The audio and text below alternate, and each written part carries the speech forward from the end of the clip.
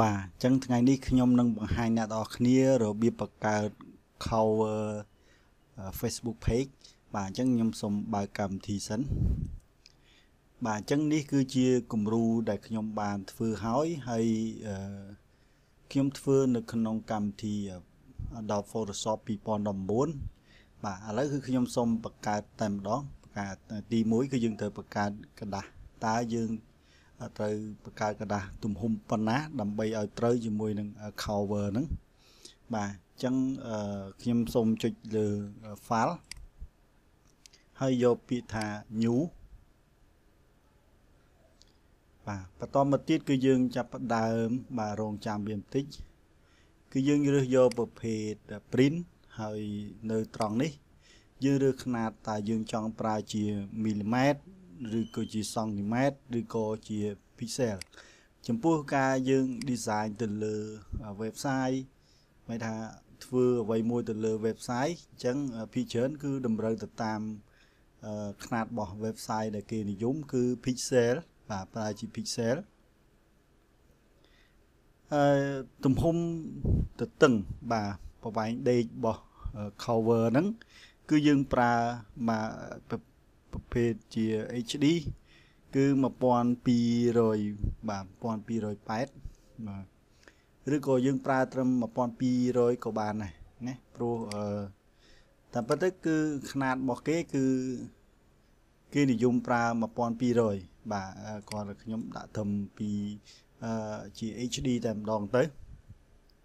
យើងអាចប្រើ1200ក៏បាន ចំពោះកម្ពស់ បាទកម្ពស់គឺយើងប្រើ400បាទ456ណាហើយកន្លែងកម្រិតភាពច្បាស់គឺយើងយក pixel inch ហើយយើងប្រើត្រឹមតែ100បាទប្រើតែ100បានហើយតកតងនឹងដាក់ទៅលើ Facebook ឬក៏បណ្ដាញសង្គមផ្សេងផ្សេង ពីច្រើន Division យើងអត់សូវប្រើខ្លាំងដូចជាជា print ជាកស៊ូឬក៏ផ្ដិតរូបទេ បាទកាលណាយើងដាក់ហ្នឹងគុណភាពច្បាស់ពេកគឺពេលដែលយើងអាប់ឡូតចូលកម្មវិធីនីមួយៗវានឹង convert បាទ convert អញ្ចឹងធ្វើឲ្យរូបយើងកាន់តែអត់សូវល្អបាទអញ្ចឹងបើសិនយើងប្រើ100ដូចជាវាមិនមិន convert របស់យើងទេ បាទវារក្សាទ្រង់ទ្រាយ បាទអញ្ចឹងយើងយកប៉ុណ្ណឹងទៅហើយបន្តមកទៀតគឺយើងរើសប្រភេទ color អឺសញ្ញាប់នៅលើវីដេអូ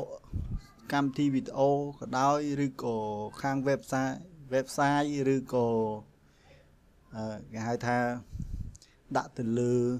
បណ្ដាញសង្គមផ្សេងផ្សេងណាភាគច្រើនគឺយើងប្រើជា RGB color ដើម្បីឲ្យវាបញ្ចេញនូវពណ៌ធម្មជាតិ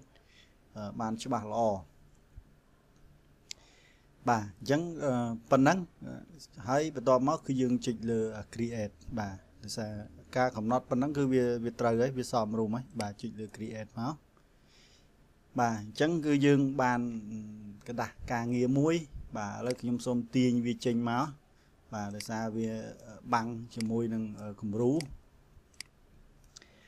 អឺខ្ញុំសូមបញ្យល់បន្ថែមទៀត ຂະຫນាតដែលខ្ញុំប្រើមិញទំហំប្រវែងរបស់វា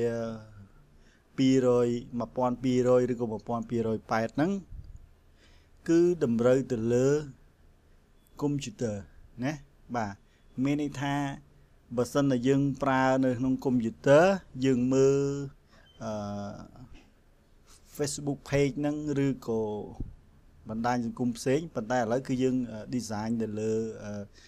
ផ្ដោតទៅលើ Facebook page អញ្ចឹងគឺមើលតាមរយៈកុំព្យូទ័រគឺមានថាវាបង្ហាញពេញលេញមកផ្ទាំងនឹងតែម្ដងនេះមិនថាអ្វីដែលយើង design ទាំងអស់វានឹងបង្ហាញឲ្យយើងឃើញប៉ុណ្ណឹងណាបាទប៉ុន្តែបើសិនតែយើងមើលទៅតាមតាមរយៈ smartphone គឺវាអត់ឃើញពេញទេ បាទវាមានថាវាអត់ឃើញរូបទាំងអស់ហ្នឹងទេ គឺវាបានទំហំបច្ចុប្បន្នវាបានតែត្រឹម800ជាងទេ850បាទមានន័យថាប្រវែងវាអាសរុបនេះគឺ1000ជាងអញ្ចឹង800ជាងហ្នឹងគឺវាខ្ទង់ម៉ែជាប៉ុណ្ណេះទេ បាទឥឡូវខ្ញុំឧទាហរណ៍ខ្ញុំយកនេះមួយចុះមកគូបាទឧទាហរណ៍ខ្ញុំយកអីមកគូមួយបាទនេះ800ប្រហែលជាប៉ុណ្នេះទេ បាទអឺនេះខ្ញុំយកមកគូឲ្យមើលខ្ទង់ប្រហែលជាប៉ុណ្ណឹងតែមិនរបៀបមានមានរបៀបដាក់ឲ្យត្រូវ800ជាក់ស្ដែងប៉ុន្តែមានន័យថាគឺអញ្ចឹងហើយកម្ពស់វាគឺប្រើតែ300ជាងដែរបាទគឺដូចជា330ទេ350បាទប្រហែលជា350ទេគឺមានន័យថាពេលដែលយើង design ហ្នឹងគឺយើងត្រូវគិតអឺ នៅពេលដែលមើលកុំព្យូទ័រឲ្យឃើញបែបណាហើយមើលតាមរយៈ smartphone ឲ្យឃើញបែបណាណាបាទអញ្ចឹងដែលខ្ញុំបង្ហាញនេះឧទាហរណ៍នេះ800បាទខ្ញុំទាញមកក្រោមបន្តិចអញ្ចឹងយើងត្រូវ design យ៉ាងម៉េចគឺឲ្យវារូបដែលយើងចង់បង្ហាញគេហ្នឹងឲ្យវានៅក្នុងចន្លោះ800នឹងឯងណាបាទយើងអាចរកមានវិធីវាស់មានអីចឹងណាបាទតែនេះក៏ខ្ញុំបញ្យល់សិន បាទអញ្ចឹងមេថាយើង design ធ្វើម៉េចកុំឲ្យដល់ខាងគៀនគេព្រោះគៀនហ្នឹងគឺសញ្ញាបត្រដែលមើលលើកុំព្យូទ័រទេនៅពេលដែលមើលទៅតាម smartphone វានឹងបាត់ហើយវាលាក់បាត់ហើយវានៅសល់ຂະຫນាតត្រឹម800ទេបាទ850ណាបាទអញ្ចឹងឥឡូវខ្ញុំសូមលុបវាចោលអញ្ចឹងចាប់ផ្ដើមធ្វើតែម្ដងបាទ ចឹងទី1គឺយើងបាទចាប់ដើមគូរូបនេះ បាទរូបនេះបាទរូបហ្នឹងអឺយើងខ្ញុំទាញទាញกระดาษនេះឲ្យធំបន្តិចបាទទាញទំហំឲ្យវាឃ្លាតចេញបាទស៊ុំនេះឲ្យចេញពីกระดาษយើងនេះតែត្រង់ទ្រាយនៃกระดาษគឺຂណាតវានៅដដែលទេវាមិនមែនព្រីកធំអីទេណាបាទអញ្ចឹងខ្ញុំសូមបង្កើត layer មួយបាទនេះ នៅកន្លែងនេះដើម្បីបង្កើត layer នៅលើกระดาษហ្នឹងបាទបន្ទាប់មកគឺខ្ញុំនឹងប្រើ tool មួយបាទនេះបាទ tool shape អឺ shape rectangle ណាបាទបែរថា shape ហ្នឹងគឺជារូបរាងស្រាប់ស្រាប់បាទឈ្មោះវា rectangle ហើយគឺខ្ញុំសូមយកជាប្រភេទ shape ហើយរើសផ្ទៃពណ៌បាទ ឥឡូវយើងចង់គូសពណ៌អីយើងយកពណ៌នឹងហើយក៏បានដែរខ្ញុំយកពណ៌នេះទៅហើយខ្ញុំគូសបាទគូសអឺល្មមបាទតូចល្មមហើយឲ្យវែងតិចទៅបាទនេះឲ្យវែងផុតបាទនេះឃើញវែងផុតអញ្ចឹងណាដោយសារយើងត្រូវការប្រវល់វាឲ្យវាអញ្ចឹងបើសិនណាស្មើឬក៏ខ្លីជាងវាវានឹងអាចខ្លីជាងกระดาษហ្នឹងហើយអញ្ចឹងយើងយើងធ្វើម៉េចឲ្យវាផុតអញ្ចឹងបាទ បន្តមកទៀតយើងចាប់ផ្ដើមចុចលើ move tool ហើយ control T ណា control T ហ្នឹងយើងមកបវលវា តែយើងចង់ឲ្យវាប្រមាណ degree បាទអឺឥឡូវខ្ញុំឧទាហរណ៍20ឧទាហរណ៍បាទ20បែរទៅនេះអញ្ចឹងខ្ញុំដក20ឲ្យបែរទៅខាងនោះវិញបាទដក20បាទអាស្រ័យលើអារម្មណ៍របស់យើង យើងចង់បានប៉ុណ្ណាយើងយកប៉ុណ្ណឹងបាទឥឡូវខ្ញុំថាដក20ចុះ បាទ trade ប្រហែលជាប៉ុណ្ណឹងបាទអញ្ចឹងខ្ញុំ enter មកបាទបន្ទាប់មកគឺវាវានឹង trade បាទ trade បែបនេះហើយហើយយើងលើកវាយកមកអឺមកលមមដែលយើងបាទចង់ប្រើវាដាក់វានៅត្រឹមណាអញ្ចឹងណាបាទហើយ enter មកឥឡូវគឺយើងបានរៀងមួយចំណិតនេះឃើញទេបាទមួយចំណិតនេះណាបាទបន្តមកទៀតយើងឈរនៅលើហ្នឹងហើយយើងយកបាទយកម៉ៅទៅคลิกនៅកន្លែងនេះនេះ សកត់ឡើយនេះហើយយកពាក្យថា direct select tool ដើម្បីយកមកកែសម្រួលនៃអា shape ដែលយើងគូមិញនេះคลิกនេះបាទយើងយកមកលើកវាឲ្យផុតបាទលើកឲ្យផុតនៃกระดาษយើងណាផុតហ្នឹងបាទផុតទៅក្រៅទៅបាទអញ្ចឹងហេតុអីបានយើងចាំបាច់ធ្វើអញ្ចឹងណាដោយសារយើងត្រូវការຂະຫນាតមួយនេះឲ្យច្បាស់លាស់បើសិនតែយើងចេះតែគូវាអត់មានមុំច្បាស់លាស់ទេ មានន័យថាឧទាហរណ៍ខ្ញុំយកផែនមកគូចោះនេះបាទវាអញ្ចឹងណាឃើញខ្ញុំដៅយកអញ្ចឹងហ្មងបាទប៉ុន្តែភាព trade នេះគឺអត់មានຂະຫນាតច្បាស់លាស់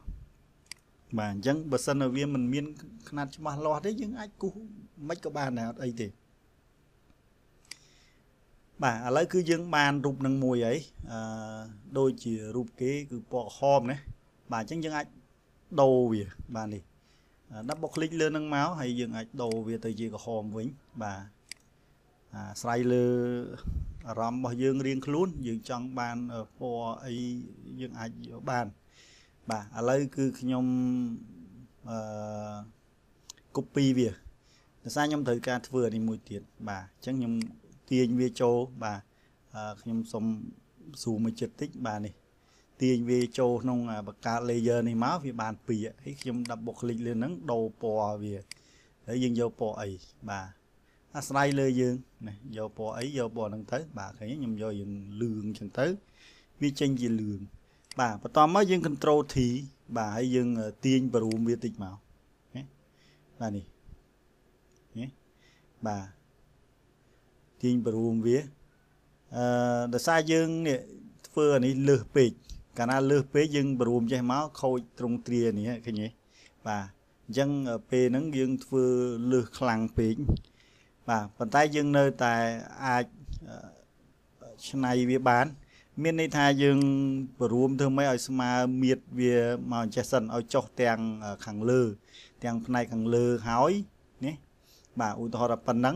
បន្តមកយើងលើកវាមកមុខចុចស៊ីដើម្បីជួយរក្សាទ្រង់ទ្រាយ កុំឲ្យវាវាវីចេះណាបាទបាទ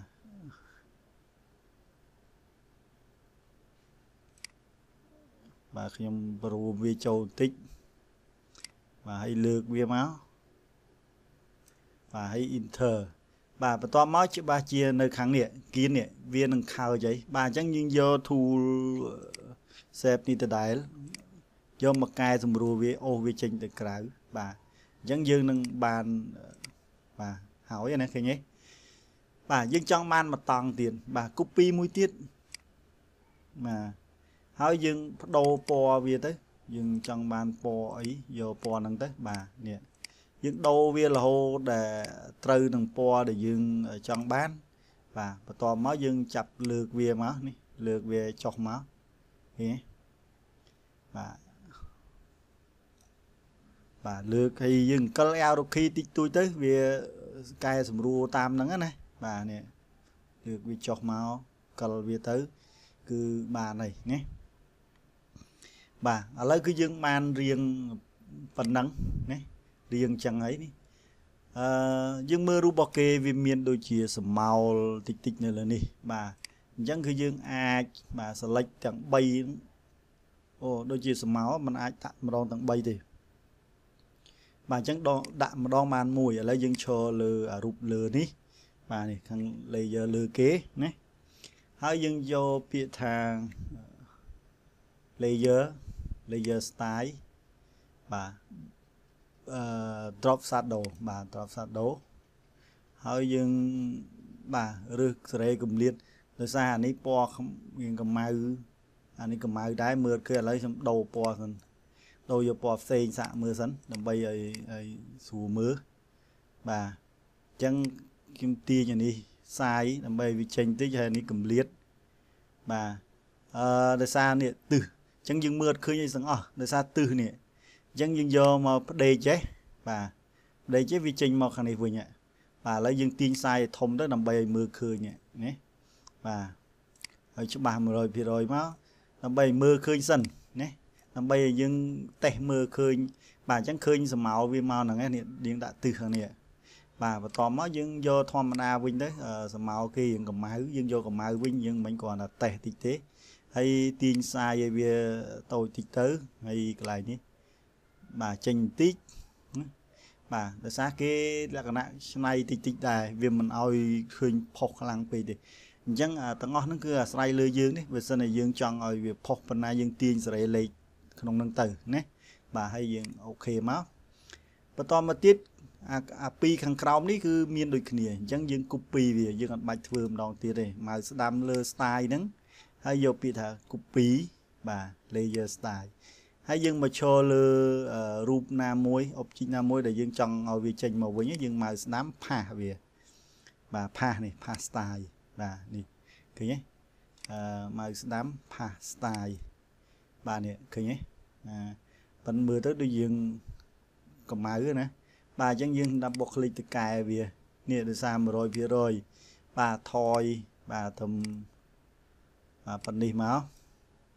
បាទហើយអានេះយើងកុំឲ្យឆ្ងាយពេកបាទដូចជាអត់ស្អាតបាទ4 4អញ្ចឹងមកអញ្ចឹងយើងទៅកែអាផ្សេងទៀតឲ្យត្រូវដូចគ្នាមកបាទនេះ4ដែរបាទហើយអានេះគឺមិនឲ្យច្បាស់យ៉ាងពេកទេបាទ នេះមួយទៀតបាទ double click ហើយអាហ្នឹងត្រូវហើយនៅនេះបាទ4បាទហើយអានេះព្រៀលបាទមិនឲ្យឃើញច្បាស់ពេកអញ្ចឹងណាបាទនេះឃើញទេអត់សូវច្បាស់ពេកទេបាទអញ្ចឹងយើងបានរូបមកខាងហ្នឹងនៅខាងនេះមួយទៀតបាទអឺអញ្ចឹងយើងត្រូវ copy រូបនេះបាទអញ្ចឹងដើម្បី copy រូបហ្នឹងបាទអឺកុំឲ្យវាវាដោយ style យើងអាច merge រូបនឹងចូលគ្នា បាទឬក៏យើងសម្រាប់ style បាទឥឡូវខ្ញុំយកវិធីមួយមានថាបើ style ហ្នឹងយើងត្រូវហើយបាទមានថាយើងមើលរូបផ្សេងខាងនេះហ្នឹងតើវា style ដូចគ្នាអត់បើដូចគ្នាចេញមកក្រៅនឹងដូចគ្នា យើងត្រូវសម្រាប់ style បាទ សម្រាប់ style នេះមានន័យថា object ដែលមាន style មួយមួយហ្នឹងយើងកុំឲ្យវាឃើញមាន style នេះកុំឲ្យឃើញអានេះមិនមែនលុបចោលទេមិនថាយើង merge អា style នឹង layer ហ្នឹងឲ្យវាចូលគ្នាតែមួយអញ្ចឹងណាបាទអញ្ចឹងគឺយើងបាទ mouse ស្ដាំលើវានេះយើងយកនេះ convert បាទអញ្ចឹងវាវានឹងបំបត្តិ style ហ្នឹងតែ style អត់បាត់ទេនេះឃើញទេបាទ convert វាអញ្ចឹងណាបាទ បាទអញ្ចឹងបន្ទាប់ពីយើង convert វាហើយយើងចាប់ផ្ដើម copy បាទអញ្ចឹងយើងយើងធ្វើឲ្យរូបហ្នឹងបាទយើង select រូបហ្នឹងទាំង3ហ្នឹង3 layer ហ្នឹងបាទចុចលើនេះមួយចុច shift បាទទី2ទី3មកយើងដាក់វាជា group បាទឃើញទេ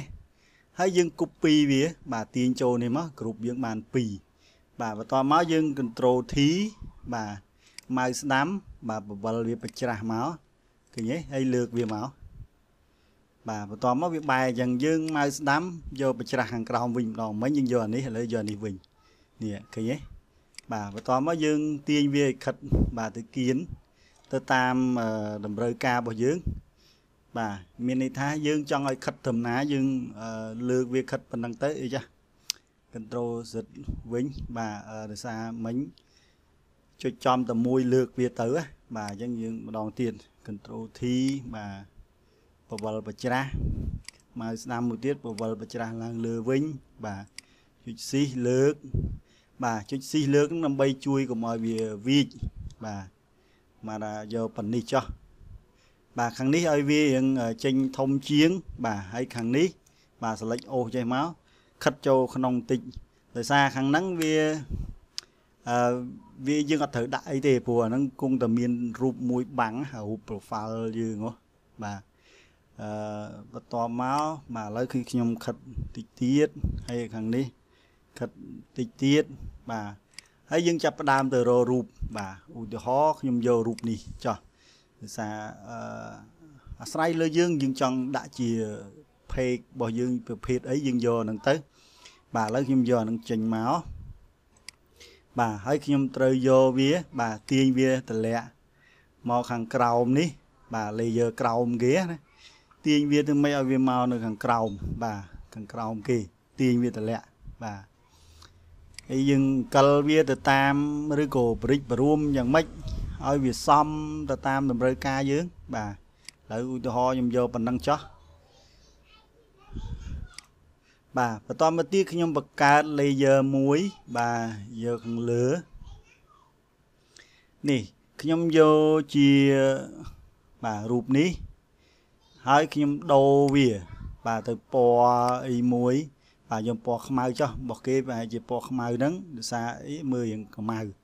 បាទគូសបាទគូសមកបាទគូសធ្វើ style បាទបន្តមកយើងបន្ថយនេះកម្លាំងវាកុំឲ្យកម្ៅ ពេលអញ្ចឹងឲ្យវាព្រៀលព្រៀលឃើញទេព្រៀលព្រៀលណាបាទបន្តមកវានៅខាងក្រោមបាទអញ្ចឹងយើងលើកវាទៅខាងក្រោមឲ្យនៅតែលើតារូបនេះបានហើយនេះមានថាក្រោមគេឃើញទេអឺតែវានៅលើរូបនេះបាទបន្តមកទៀតខាងក្រោមនេះក៏មានដែរអញ្ចឹងយើង copy វាតែម្ដងចុច Alt ចាប់លើកវាមកបាទវាវាបានមួយទៀតហើយនេះបាទបន្ទាប់មកយើងវាយអក្សរ បាទវាយអក្សរគឺយើងយកអក្សរ T នេះបាទដោយខ្ញុំគិតថាដល់មេរៀននេះប្រហែលជាអ្នកទាំងអស់គ្នាចេះវាយអក្សរហើយអញ្ចឹងខ្ញុំអត់បាច់វាយទេខ្ញុំទាញវា បាទយកមកដាក់តែម្ដងនេះបាទទាញវាយកមកដាក់បាទនេះបាទហើយខាងនេះបាទ logo ក្រុមហ៊ុន បាទអញ្ចឹងយើងបាទទាញយកមកដាក់មក បាទអឺអញ្ចឹងមេថាក្រុមហ៊ុនយើងដាក់ logo អីយើងដាក់ហ្នឹងទៅហើយលេខទូរស័ព្ទហើយឈ្មោះ Facebook page ឬក៏ channel YouTube អីចឹងណាបាទនេះគឺខ្ញុំមានប៉ុណ្ណឹងខ្ញុំយកប៉ុណ្ណឹងទៅ